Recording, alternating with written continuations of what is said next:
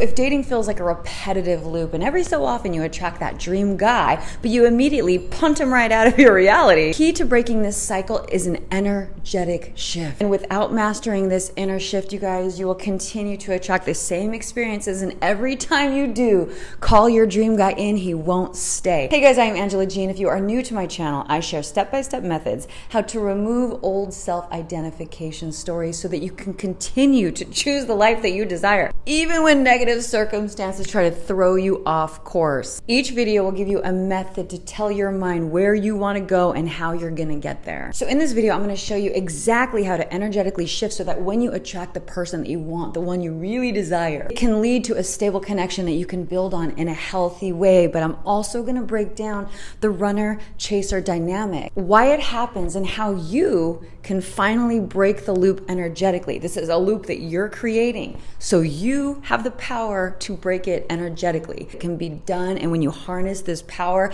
everything you want, everything you attract will stay. The thing you guys we always have to remember is that we're not just these mechanical Barbies running around life. We need to zoom out. There's a whole universe at play here, and our higher self is always trying to guide us. many of us get caught up in the Barbie world, and we're just focused on chasing Ken around in his cool car, and we don't realize that there's no depth to this doll, that he's completely empty. You know what I mean? There's no depth to these dudes. That's why we are being forced to ruminate and think and rethink what do we truly want in a commitment? And it's a way of actually kicking us out of our ego that is attached to the things and the material world. Because what does the ego want? What do we want in the material world? We want the hot guy, the cool guy, the guy that's perfectly dressed, the guy with the cool house. But what does our higher self want that doesn't give a shit about anything in this material world?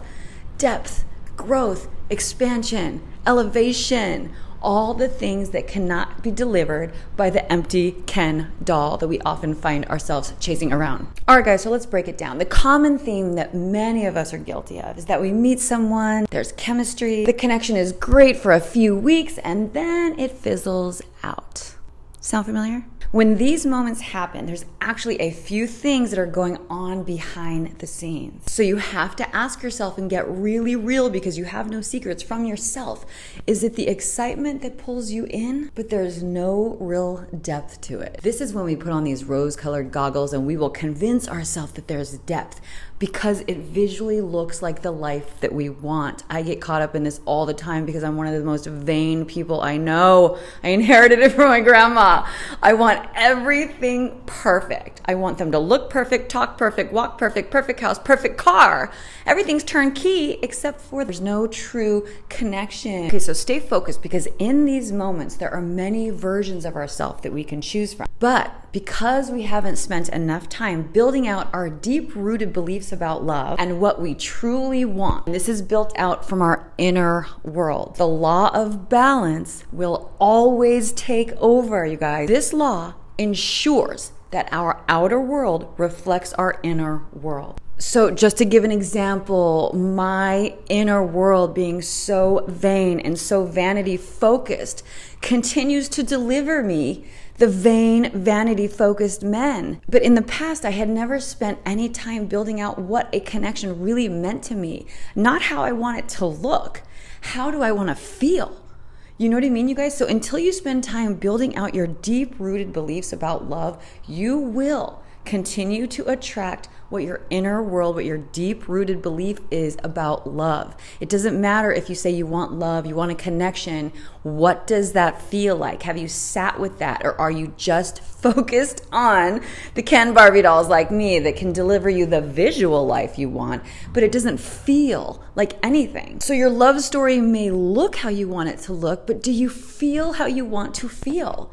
Anytime the chaser runner dynamic unfolds, you have created that. And I promise you guys, you are 100% in your masculine energy. So if you don't want to feel like that, if you want to be the female that's in receptive mode, receiving love, receiving text, receiving calls, you have to build out that inner reality. You have to sit with how you want to feel instead of how you want it to look.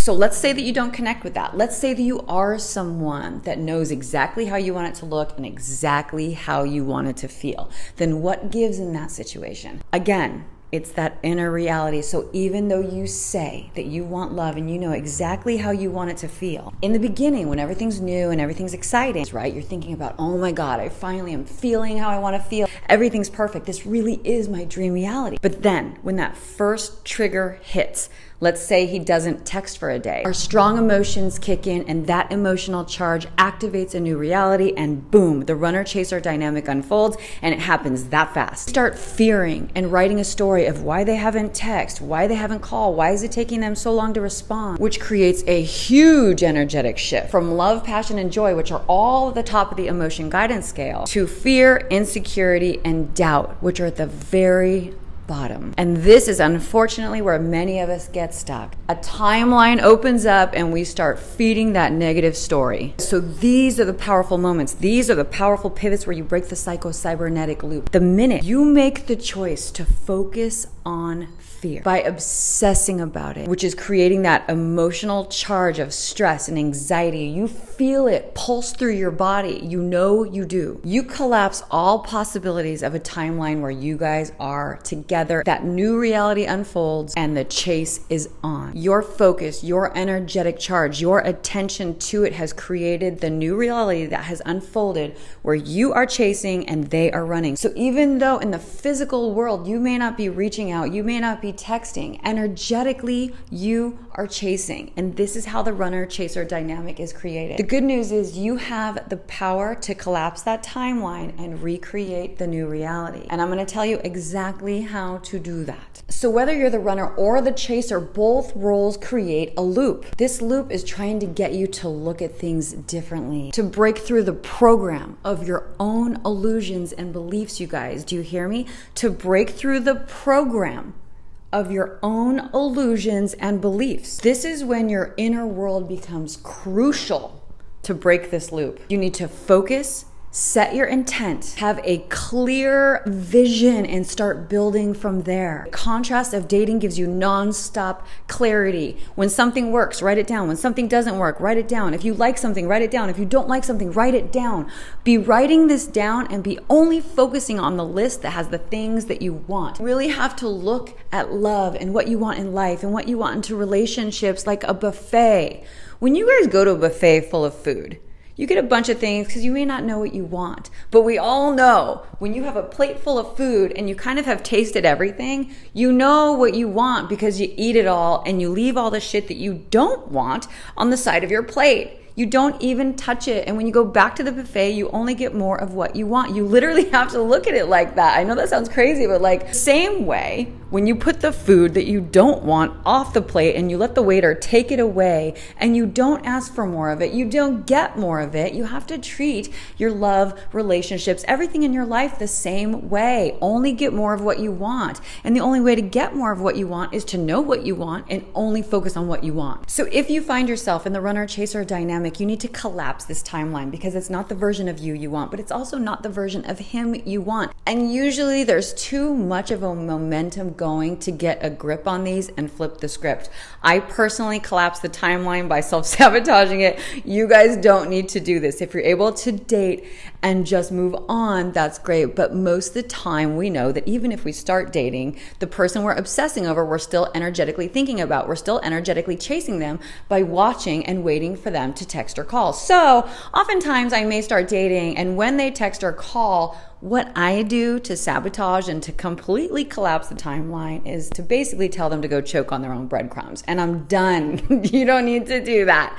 You do you. That's just what I do because I know that I can create a new timeline. I'm not worried about it. So once you have collapsed the timeline, it's time to step into the creator of you. So here are the exact steps. Number one, you have to remove the energy blockage of fear. Meaning, if you're afraid to collapse that timeline, if if you're afraid to tell your dream guy to go choke on his breadcrumbs, then you're still navigating life from a place of fear. If you guys did not see my video last week, I'm going to put a screen at the end of the video. You have to watch that because you have emotional gunk that is trapped in your meridian centers. And until you remove those blocks, you can call things in, but it's almost like there'll be a wall in between your love story and they won't move forward. Watch that video. There's also an audio attached. I show you exactly how to do it by massaging your meridian points. That only has to be done for like two minutes, you guys.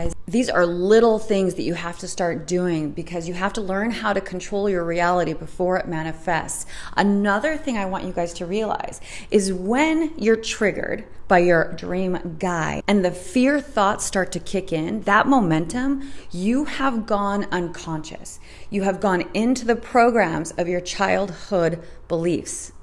Okay, listen to me when I say that, you guys. The minute your love story is going great, and then boom, there's a trigger, and you start spiraling, negativity kicks in, fearful thoughts, doubt, insecurities, you've gone unconscious. I know these are like big words sometimes, you guys, but you're in the program of your childhood beliefs. This starts to steer your choices. This throws you into that chaser. If you don't heal that root, it will continue to navigate everything in your world. That is why those blockages of fear have got to be removed. You have to start doing these methods. A big part with all of this self help stuff is that it's so freaking boring. I make everything I can as fun as possible. That's why music creates an echo chamber that makes it something that you look forward to doing. And my sessions are short because as long as you're intentional, you sit down with the intent to remove this block, to fight through this fear. Intention is what shapes your reality always. As long as you're moving with intention, the life you want will start to unfold because your intention comes from where? The mind. Boom. And that's when you're sculpting and molding your inner world. So until you're able to really close your eyes and see it and feel it with every cell of your body and your inner world, you will not be able to open your eyes and touch it in your reality because it's fading, because you haven't spent enough time in your inner world seeing it, touching it, feeling it. That's why when you open your eyes, you may see it for a second, but it's fleeting.